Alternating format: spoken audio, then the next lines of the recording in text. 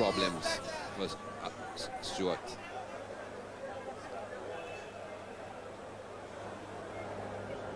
This is a tough nugget, Alec Stewart. Right in line again, the ball bouncing above the pad and smashing into his arm. You think that when you have your arm guard on with your left hand, your front hand off, you'd have no problems, but that one it is backhand, the right.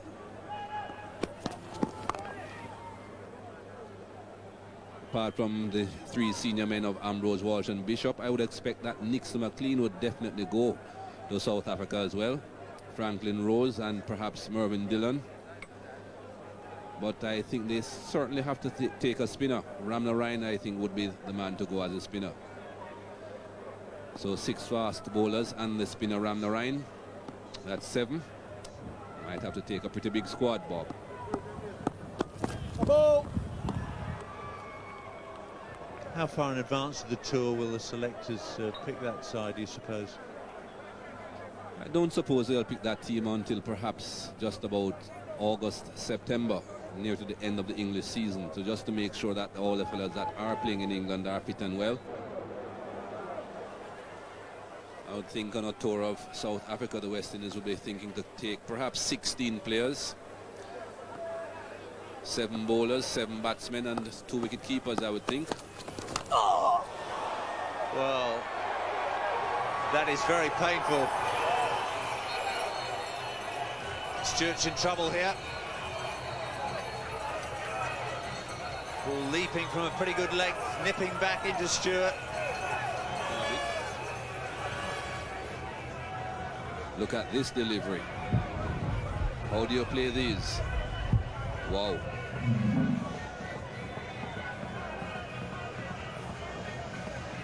Yes, in fact, Stewart was looking to get his weight onto his front foot when that ball leapt up at him.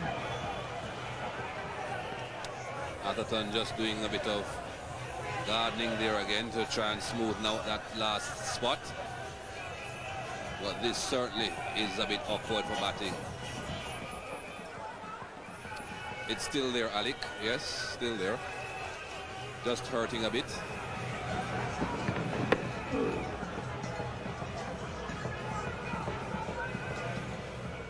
can see the uh, reaction of uh, Michael Atherton at the other end. So tough on England, trying to force their way back into this series. Uh, denied that opportunity on the last day in Barbados.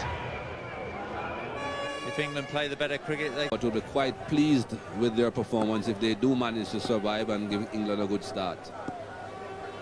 England haven't used uh, anything like as many players as uh, the West Indies during the uh, series.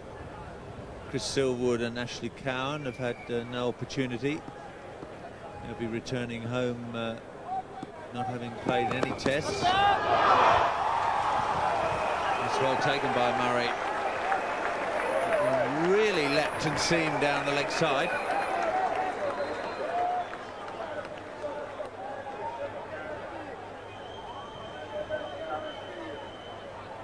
Not too sure that did not take a bit of the bat there on the way through. Looked very close. I think definitely a bit of an inside edge. So technically a chance, but I don't think too many people would really blame Junior Murray for that one. Very well played again by Michael Atherton. These two may not be scoring any runs, but they're doing a famous job for England at present.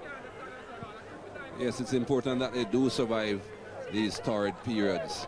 But they have got to try and survive because I'm sure this pitch will even out a bit later on. Should be pretty good for batting, or at least... Let off for Atherton.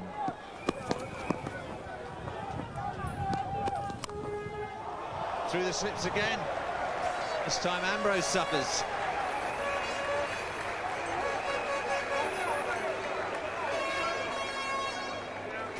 Well, Brian Lara did all the right things. Of course, he was the one spinning the coin, didn't have to call, but he won the toss and asked England to bat. And two chances now have gone a begging. Shivnarayan Chanderpaul, the man on this occasion, moving to his left. Alex short. Pretty good average that in this series so far. Yet to get to three figures, but quite consistent.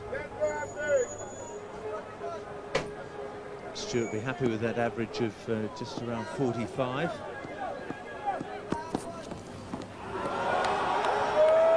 Well, that's moved several inches off the seam.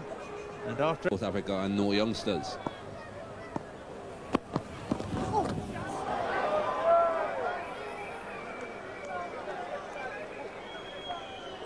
In a strange sort of way, I think Atherton and Stewart are enjoying themselves out there. It's a real test of their technique.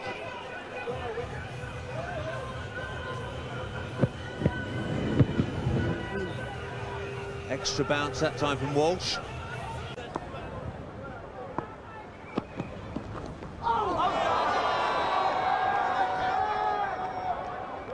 Of course, it's the bowler who gets the ball to move off the seam, but that one carrying through quite nicely to Junior Murray.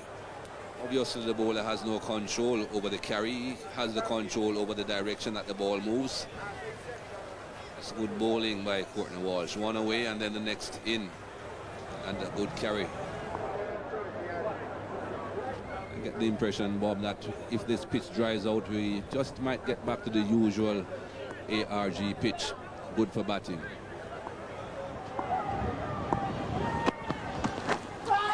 Edged. Murray was on his way down the leg side and Walsh can't believe it. He hasn't had any luck in this series with the ball. All the drop chances seem to have been off Courtney Walsh. That's not a great start for Junior Murray. Definitely not. A regulation catch this one and it goes between the first slip and the wicketkeeper. I would have to say that was Junior Murray's catch. The ball would not have carried on the full to Brian